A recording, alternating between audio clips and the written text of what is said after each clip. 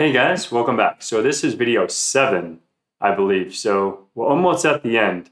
So now we're just gonna figure out how to compromise Telnet. So we're gonna leverage Telnet, get into Telnet. I'll show you guys how to do it, open up some Wireshark, look at some packets. So if you guys are new, please like, subscribe, and share. If you're returning, welcome back. And remember to watch every single video in order so it all makes sense. Unless you're just here to learn how to, you know, capture packets and look at telnet traffic. That's pretty much what we're going to be doing. But if you watch the other videos, obviously it will make a lot more sense.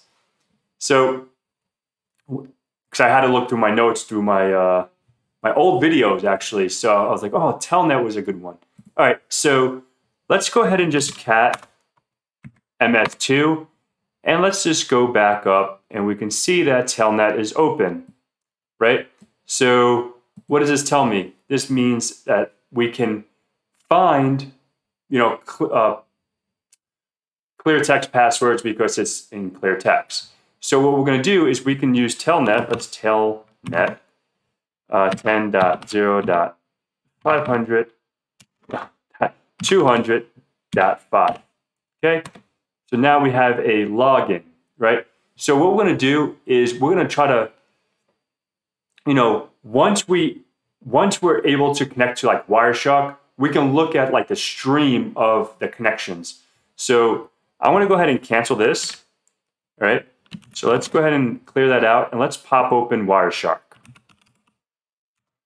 And I truly, truly recommend you learning about Wireshark Wireshark is, is awesome. It's a good thing to learn, especially for pen testing, uh, networking, all that good stuff. So you can, you know, learn about it.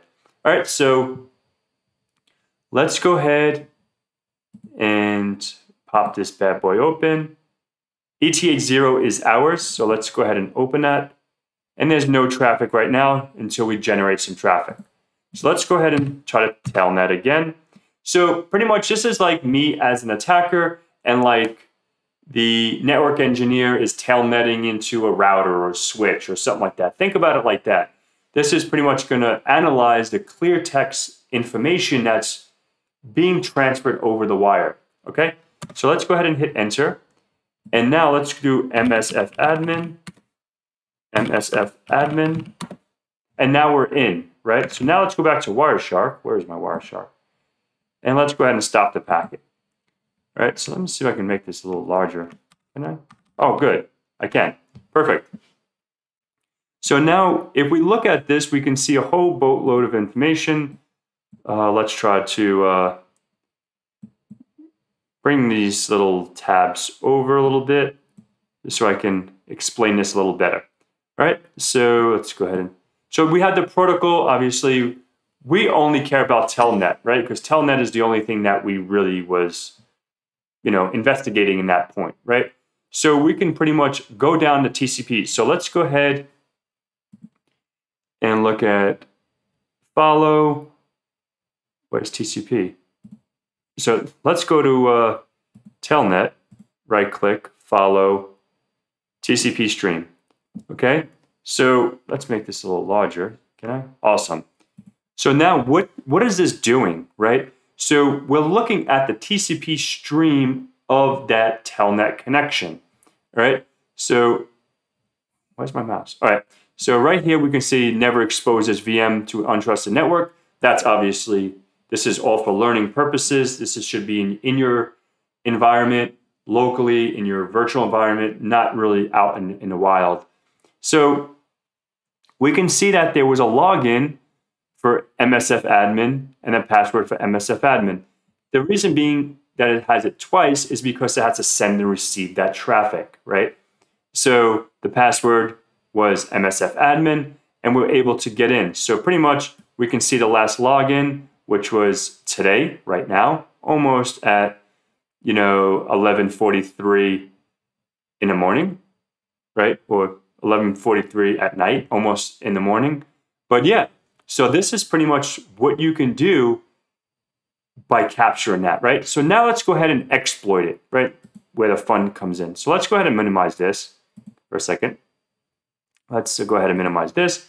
Let's open up this. So let's, we can leave that there. So let's open up MSF console again. MSF console.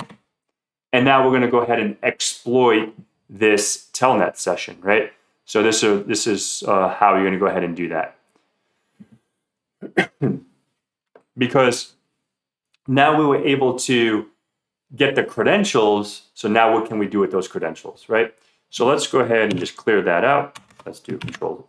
And now let's go ahead and search for telnet underscore login. Okay. Let's make this a little smaller. Can I? And let's do that again. All right. So we have zero and one. So which one we're going to use? We're going to use one for telnet login. Okay. Oops. All right. So now we can do show options. And it's pretty much the same as before. We're going to go ahead and set the R host, the user file, and the password file. So let's go ahead and give that a jingle. Let's go ahead and let's do set our host um, 10.0.200.5. Okay. And then the, the, the user file and the password file. So set user underscore file, and that's going to be root users. And then we're going to do passwords.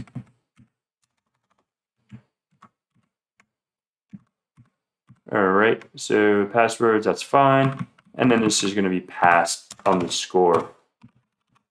Okay, so we we set up the password file, the user file, and the last thing, so we, once we have a user and password that works, I want to set stop to true because that's annoying if it keeps trying and trying and trying. So let's go ahead and exploit that and we'll see if we can get something. And it's, you know, using MSF admin, MSF admin. So it did open that session, session one. So we're going to do the same exact thing as we did last time.